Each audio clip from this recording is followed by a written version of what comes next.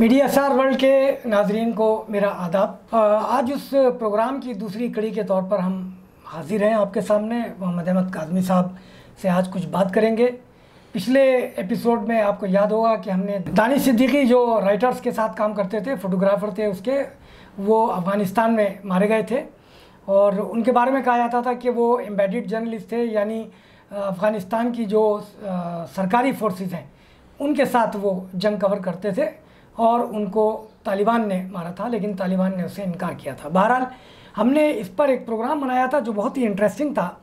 काजमी साहब चूँकि international affairs cover करते रहे हैं और बहुत लंबे अरसे तक इन्होंने जंग ज़दा इलाक़ों का दौरा किया है, जैसे इराक़ का दौरा किया, इराक़ की जंग इन्होंने कवर की और दूरदर्शन का एक प्रोग्राम, बड़ा मकबूल प्रोग्राम आता था वर्ल्ड व्यू जो बहुत ही सीनियर जर्नलिस्ट सईद नकवी साहब जिसको हेड करते थे। काजमी साहब उस प्रोग्राम का दरअसल पिलर थे और बहुत ही इंटरेस्टिंग चीज़ें हम आगे बयान करेंगे।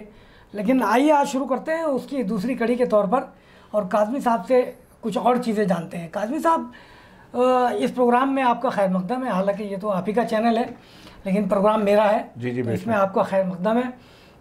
दानिश सिद्दीकी के ताल्लुक़ से हमने बात की थी फिर आपने इराक़ के ताल्लुक़ से बहुत अपने कुछ इंटरेस्टिंग तजर्बात बताए थे और मौत आपके करीब से होकर गुजर गई थी यानी आपके शाने के ऊपर से मौत गुजर गई थी। तो ये बहुत ही इंटरेस्टिंग था और इसको हमारे नाजरन ने बड़ा पसंद किया और हमने वादा कर लिया था कि हम इसको थोड़ा आगे और चलाएँगे कुछ और किस्तों में कुछ और तजर्बात। तो आप ज़रा बताइए कि आपने इराक़ के किन किन जंग ज़दा इलाक़ों का दौरा किया और आपको कैसे कैसे मसाइल पेश आए? मैं तो बल्कि आपसे ये भी जानना चाहूँगा, चूँकि मैं ख़ुद इराक़ होकर आया हूँ उन्नीस सौ सतानवे में, और आप तो उसके बाद गए जब हालात और ख़राब हो गए थे। और रिबिल्डिंग के बाद इराक़ और टूट चुका था। तो आप ये भी ज़रूर बताइएगा हमारे दर्शकों को कि क्या आपको सही वक्त पर नाश्ता मिल जाता था, सही वक्त पे दोपहर का और रात का खाना मिल जाता था? और क्या हर वक्त आपको मौत का खटका लगा रहता था? कुछ चीज़ें ज़रा सा हमें बताइए, जहाँ से आप शुरू करना चाहें। देखिए, मैं, मुझे भेजा तो गया था ये कह करके कि ईरान जाइए और इराक़ जंग से मुतल ख़बरें करते रहिए लेकिन अगर मौका लगे तो इराक़ ज़रूर जाना। लेकिन मैंने अपने टारगेट में शुरू से ही रख लिया था अपने जहन में कि मुझे इराक़ जाना यानी इराक़ जाना आपके ऑब्लिगेशन नहीं था। ना ऑब्लिगेशन ऑब्लिगेशन अच्छा, में नहीं था। वो आपने हाँ, खुद जो है वो किया। हाँ, वो मैंने खुद इनिशिएटिव लिया तेहरान जा करके। और किसी भी जर्नलिस्ट के लिए मैं समझता हूँ ये बहुत कम मौके आते हैं और ज़िंदगी मौत तो ज़ाहिर है वो मौत तो एक बार आएगी लेकिन काम करने का एक मौका होता है। कैलिबर अपनी जो कोशिशें हैं वो सब आवाम के सामने लाने का मौका होता है और एक हिस्टोरिकल इवेंट होती है जिसकी आप एक तरह से गवाह बन जाते हैं। तो ये जब मैं तेहरान पहुँचा तो मैंने वहाँ से कोशिशें शुरू की और वहाँ की कुछ हुकूमत के लोगों ने जो इंटरनेशनल मीडिया को कवर कर रहे थे क्योंकि जब किसी मुल्क में जंग होती है तो उसके आसपास के मुल्कों से ही लोग एंटर करते हैं फ़्लाइटें तो बंद हो जाती हैं। तो इराक़ के मामले में या तो लोग जॉर्डन से आ रहे थे या सीरिया से आ रहे थे जर्नलिस्ट या ईरान से जा रहे थे या तुर्की से आ रहे थे। तो इस तरह से मैं ईरान वाले रास्ते से इसलिए गया था कि वहाँ बहरहाल मैंने एक लंबे अरसे तक उस उनके मीडिया के साथ काम किया है उनकी ज़बान जानता हूँ और बहुत से वो अफसरान जो यहाँ दिल्ली में रह चुके हैं डिप्लोमेट्स वगैरह वो वहाँ जा कर के कहीं ना कहीं किसी पोजीशन में होते थे। तो ज़ाहिर है मैंने ऑप्शन ईरान की रखी थी। ईरान में जब मैंने ये बात शुरू की कि मैं इराक़ जाना चाहता हूँ तो उन्होंने एक कोशिश की चूँकि सद्दाम हुसैन के आखिरी बरसों में कई अपोजिशन लीडर्स ईरान में बेस्ड थे। जिस तरह से हमने पिछली बार बात की आयतुल्ला बाकर हकीम की, इसी तरह से कुर्दिस्तान के भी कुछ अपोजिशन लीडर्स तेहरान में मौजूद थे। तो किसी एक लीडर का उन्होंने मुझे मोबाइल नंबर दिया, जिसको मैंने कभी नहीं देखा, और उसके ज़रिए उन्होंने एक रास्ता बनाया, और मैं उरूमिय एक शहर है ईरान का कुर्दिस्तान के बॉर्डर के नज़दीक, जो आज़रबाईजान के नाम से सूबा है ईरान का। उस रास्ते से मैं बॉर्डर से गया। नहीं आपको ईरानी अथॉरिटी ने आपको डराया नहीं और समझाया नहीं कि भाई आप कहाँ जा रहे हैं? नहीं नहीं वो अच्छा। देखिए देखिए वहाँ तो उनके पास तो बहुत से जर्नलिस्ट दूसरे मुल्कों के भी आ ही रहे होंगे हम्म। और उनको भी वो फैसिलिटेट कर रहे होंगे। तो उन्होंने ज़ाहिर है मेरी चॉइस थी। अ, मैं आपको बता दूँ कि ना तो मेरा कोई इंश्योरेंस कवर था ना मेरे अ, साथ कोई सिक्योरिटी बेल्ट वो थी जैकेट कुछ भी नहीं था। हाँ, और, और जो ना, ना कोई कुछ कुछ भी नहीं था। आपका एम्प्लॉयर था उसी ने आपको नहीं उसके लिए कहा था। जी जी जी जी उनको मालूम था कि वहाँ के हालात कितने खराब हैं। जी वो थे तो उसके साथ साथ हमने ये मैंने ये किया कि मैं पहुँचा कुर्दिस्तान वाले इलाके में चूँकि मैं इस बात को ज़रा मुख्तसर करूँ ताकि आगे बात बढ़े। तो मैं बिल्कुल शुरुआत में कुर्दिस्तान में एक शहर है अरबिल के नज़दीक सलाहुद्दीन।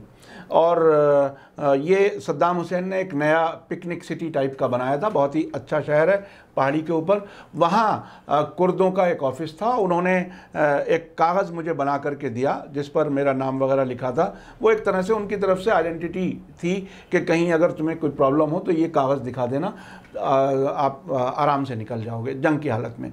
तो खैर, मैं अरबिल पहुँचा जिस दिन मैं अरबिल पहुँचा 9 अप्रैल थी उस दिन और होटल के कमरे तक पहुँचते पहुँचते मैंने टेलीविज़न ऑन किया तो सद्दाम हुसैन की स्टैचू गिराई जा रही थी 9 अप्रैल 2003 9 अप्रैल 2003 उसी दिन सद्दाम हुसैन की स्टैचू फिरदौस स्क्वायर बगदाद में गिराई जा रही थी। उसी के सामने होटल्स हैं।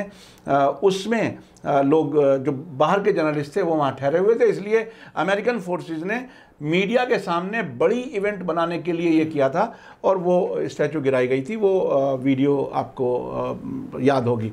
तो उसके बाद मैंने वहाँ पर एक मुकामी जो ईरान के टेलीविज़न के लिए काम करने वाला कैमरामैन था, लोकल इराकी उसको रिक्वेस्ट किया कि हमारे साथ काम करे और उसके साथ मैं मुख्तलिफ़ शहरों में गया।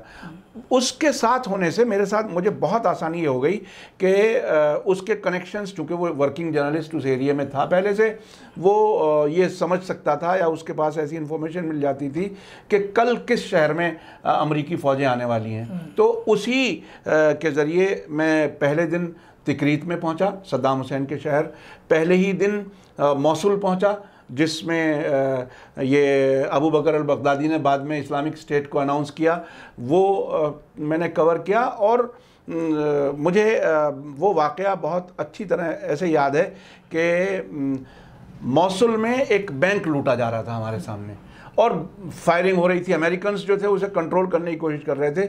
लोग ऐसे नोटों की गड्डियाँ नई लेकर के भाग रहे थे और अजीब सूरत हाल थी। नए नए नोट सद्दाम हुसैन की तस्वीर के साथ और कोई भी वो पैसे का लालच तो किसी को भी हो सकता है। तो उसमें हाथ मार के वो पूरी सड़क पे वो गड्डियाँ फैल गई और सब लोग लूट रहे हैं। इस तरह की चीज़ें। तो उसमें बाकायदा फायरिंग जब हुई तो हम कार के नीचे, कार के साइड में हो गए, फिर खड़े हो गए। इस तरह से वो सब किया। तो मैंने एक बात बताऊँ कि जंग कवर करने में डर तो मुझे कहीं नहीं लगा। डर इन द सेंस एक दो जगह ऐसे वाक़यात हुए जिसमें ऐसा लगा कि मौत मौत बहुत नज़दीक से गुजर गई लेकिन हिम्मत नहीं हारी। बुनियादी बात यह थी कि इतनी बड़ी तादाद न सिर्फ़ आ, मेरी की गई स्टोरीज़ को गैर मुल्की बड़े मीडिया हाउसेस ने भी कवर कैरी किया है। मिसाल के तौर पे आयतुल्ला बाकर हकीम का इंटरव्यू, वो दुनिया के मीडिया ने किसी ने नहीं कर कोई नहीं कर सका था। उसके अलावा तिकरीत में जिस दिन, पहले दिन हम गए हैं, उस दिन कुछ लड़कों को गिरफ़्तार करते हुए वीडियो हमें मिल गई। इतफाक़ से हम वहाँ पर थे। हमारे कैमरामैन को अमेरिकन फोर्सेस ने रोका भी। उसने कहा, नहीं ये जेनेवा कन्वेंशन में मुझे इजाज़त है।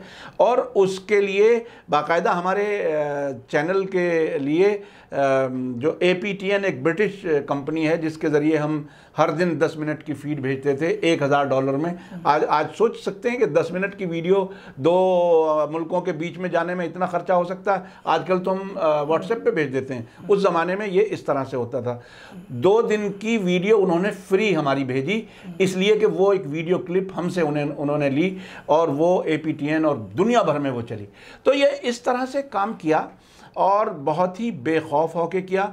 और उसके बाद जब ये मौसल तिकरीत, ये शहर सब अमरीकी फ़ौजी आ चुके। उसके बाद ये मुहर्रम के बाद का मौका था और चहलुम था इमाम हुसैन का नज़दीक। तो मुझे मालूम हुआ कि चहलुम के लिए तैयारी हो रही है करबला। तो मैं करबला गया।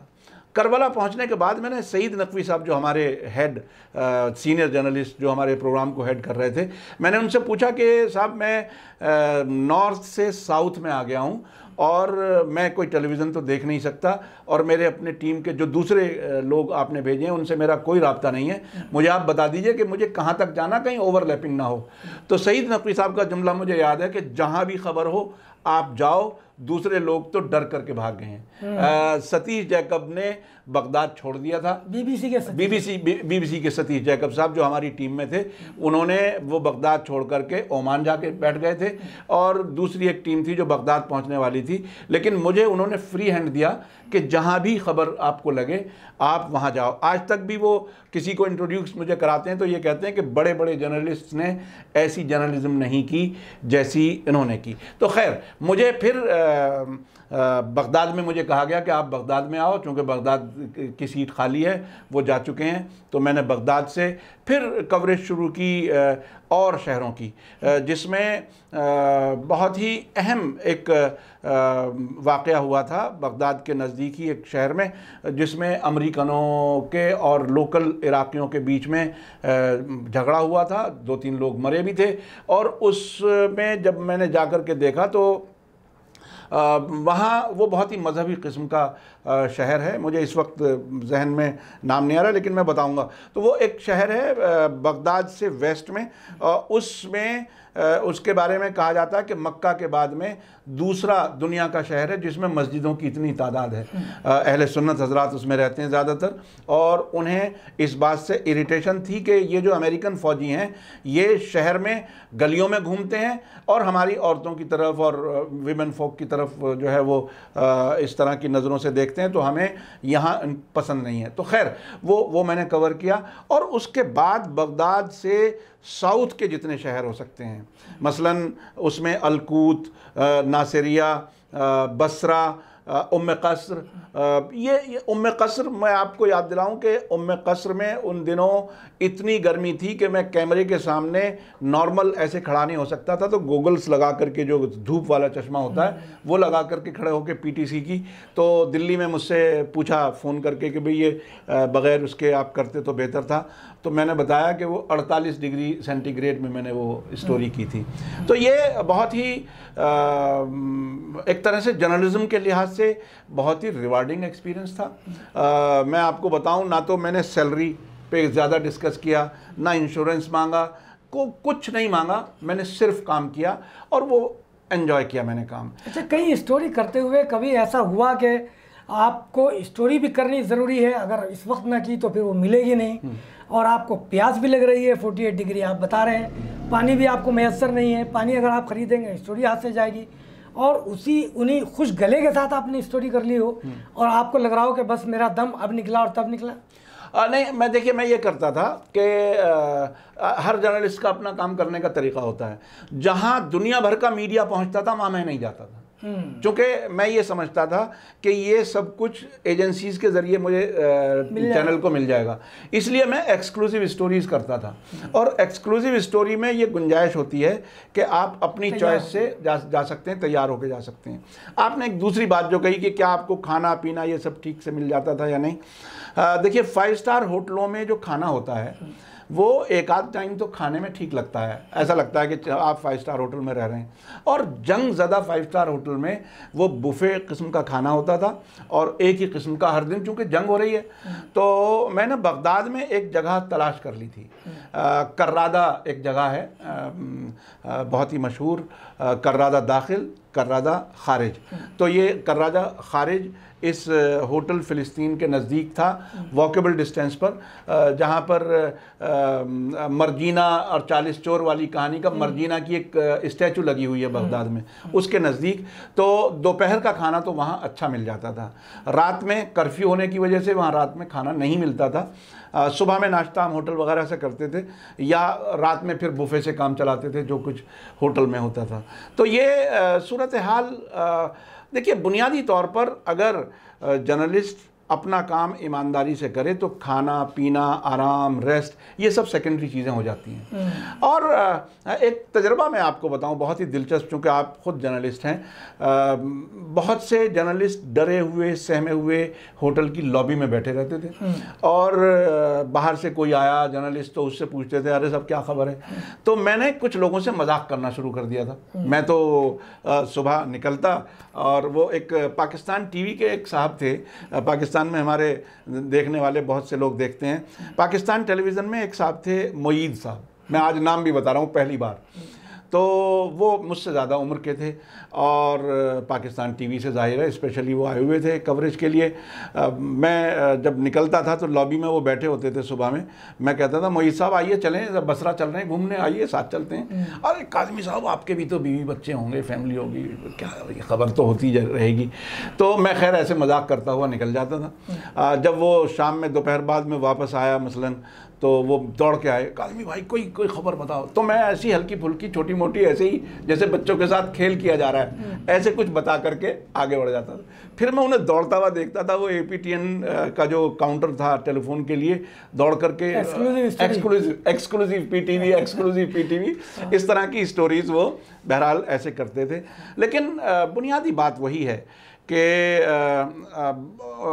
खबरों को करने में कई चीज़ों पर तवज्जो रखनी पड़ती है। एक तो ये कि आपकी ऑथेंटिक खबर हो आपकी हकीकत पर मबनी खबर हो और उसमें कहीं कोई अ, किसी के ख़िलाफ़ या किसी के हक़ में न जा जा कर के हकीकतें बयान करते रहें। ये म, हमारे प्रोग्राम में चूँकि मैं खुद एम्बेडेड नहीं था और मेरे ख्याल से हमारी टीम के प्रोग्राम के कोई भी एम्बेडेड नहीं रहा। अ, शायद कुवैत से आते हुए एक जर्नलिस्ट बगदाद तक एम्बेडेड रहे थे। लेकिन इसमें मैंने बिल्कुल निडर होकर के अमरीकी टैंक के सामने खड़े होकर के, अमरीका के अंदर डिपार्टमेंट ऑफ़ स्टेट और पेंटागन उनके बीच के बीच के इख्तलाफात तक को डिस्कस किया है। उस ज़माने में जो मिनिस्टर्स थे उनके इख्तलाफात थे तो अ, वो भी मैंने डिस्कस किया है और भी चीज़ें। और बुनियादी बात यही है कि ख़बरों को बहुत अच्छे से करना चाहिए।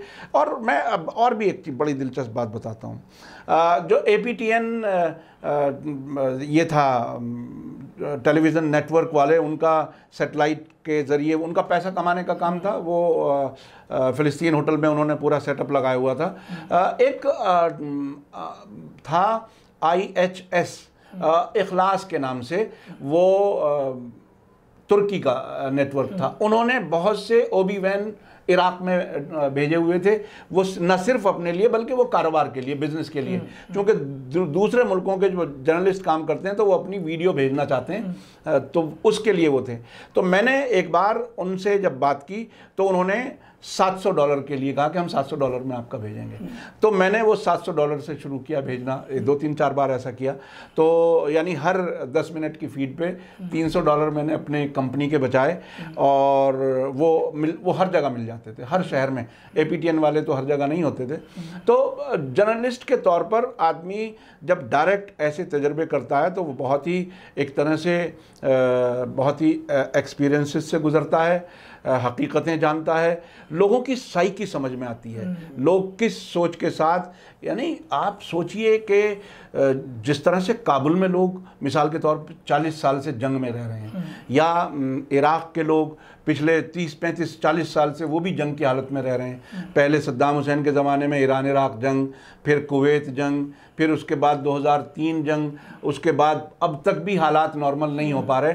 तो उसमें जो अवाम रहते हैं उनके नफ्सियात क्या होते हैं? वो किन मुश्किलात से गुजरते हैं? उनकी ज़िंदगी कैसे गुजरती है वो ये सब समझने में आ, मैं समझता हूँ। बरह रास्त जो तजर्बात होते हैं वो बहुत ही अहम होते हैं। और मैं अपने जितने जर्नलिस्ट दोस्त अगर देख रहे हैं तो मैं यही कहना चाहूँगा कि ये जो टेबल पर बैठ कर के जर्नलिज्म होती है कुछ रिपोर्ट्स पढ़ ली और उसकी बुनियाद पर आपने लिखा ये काफ़ी नहीं होता। हकीकत वहीं पता चलती है जब आप ग्राउंड पे होते हैं और ग्राउंड से चीज़ें जो समझ में आती हैं वो अगर आप हकीकत बयान कर सकें और आप में इतनी हिम्मत हो और वो करें असल जर्नलिज्म वही होती है मैं ये समझता हूँ। बिल्कुल।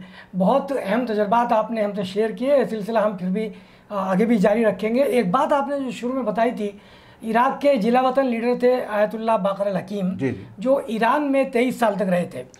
तो काजमी साहब ने उनसे इंटरव्यू किया। वो बजाय ख़ुद इंटरव्यू प्लान करना ही बहुत अहम और बड़ा मुश्किल काम था लेकिन इंटरव्यू लेना उससे भी बड़ा मुश्किल था। मिसाल के तौर पर आयतुल्ला बाकर हकीम इराक के थे और उनकी मादरी ज़बान अरबी थी। तो वो फ़ारसी ज़बान समझते तो थे चूँकि तेईस साल वो ईरान में रहे थे। लेकिन वो फ़ारसी ज़बान डिप्लोमेटिक पॉइंट ऑफ़ इशू से बोलते भी नहीं थे। हाँ वो वो तो ये होता ना जिस मुल्क तो का आदमी होता है वो अपनी जबान में। जी हाँ तो काजमी साहब अरबी ज़बान समझ सकते थे लेकिन बोल नहीं सकते थे। मगर फ़ारसी ज़बान बहुत अच्छी बोलते थे। तो काजमी साहब और उनके दरमियान ये अंडरस्टैंड अंडरस्टैंडिंग हुई। कि काजमी साहब ने उनसे फ़ारसी में सवाल किया और उन्होंने उसको समझ के अरबी में जवाब दिया। और ये दुनिया का अनोखा इंटरव्यू ये रिकॉर्ड हो गया। उसके बाद ये हिंदुस्तान आया जिसको हिंदी में चलना था।